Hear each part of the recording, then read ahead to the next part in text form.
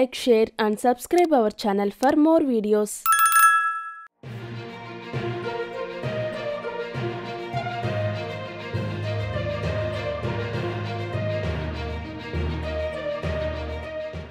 పొత్తు ఖరార్.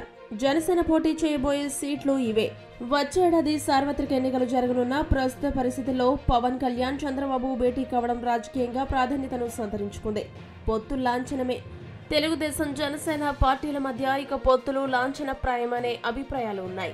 పొత్తుల దిశగా పవన్ కళ్యాణ్ ఓ అడుగు ముందు వేశారని అంటున్నారు. భారతీయ జనతా పార్టీతో ప్రస్తుతం పొత్తులో కొనసాగుతున్న నేపథ్యంలో చంద్రబాబు ఇచ్చిన సంకేతాలను మొన్నటి వరకు పెద్దగా పట్టించుకోలేదు పవన్ కళ్యాణ్.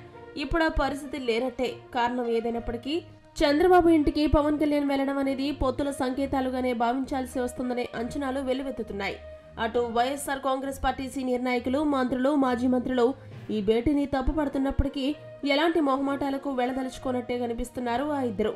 ముఖ్యమంత్రి వైఎస్ జగన్మోహన్ రెడ్డి సారథ్యంలోని అధికార వైఎస్ఆర్సీపీని ఓడించడానికి మహాకూటమిగా ఆవిర్భవించాల్సి ఉంటుందనే అభిప్రాయాలున్నాయి. చంద్రబాబు పవన్ కళ్యాణ్ భేటీ నేపథ్యంలో తెలుగుదేశం జనసేన పార్టీల మధ్య అధికారిక ప్రకటనలు సీట్ల పంపకాలు మాత్రమే మిగిలి ఉన్నాయని అంటున్నారు. ఈ దిశగా త్వరలోనే ఈ రెండు పార్టీలు ఏకాభిప్రాయానికి వస్తాయని చెబుతున్నారు. రెండు వేల ఇరవై నాలుగు సార్వత్రిక ఎన్నికల్లో పోటీ చేయడానికి జనసేన ముప్పై అసెంబ్లీ ఐదు నుండి ఎనిమిది లోక్సభ స్థానాలను అడుగుతోందని త్వరలోనే దీనికి సంబంధించిన ప్రతిపాదనలను చంద్రబాబుకు పంపించే అవకాశాలున్నాయని సమాచారం.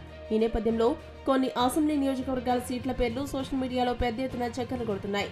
విశాఖపట్నం నార్త్ చోడవరం గాజువాక భీమిలి యలమంచిలి రాజానగరం అమలాపురం రాజోలు కాకినాడ రూరల్ భీమవరం నరసాపురం తాడేపల్లిగూడెం కైకలూరు విజయవాడ పశ్చిమ తెనాలి సత్తెనపల్లి గుంటూరు వెస్ట్ పుట్టపర్తి గిద్దలూరు చీరాల చిత్తూరు తిరుపతి దర్శి అనంతపురం అర్బన్ స్థానాల్లో తెలుగుదేశం పార్టీ జనసేనకు కేటాయిస్తుందనే సమాచారం సోషల్ మీడియాలో వైరల్గా మారింది.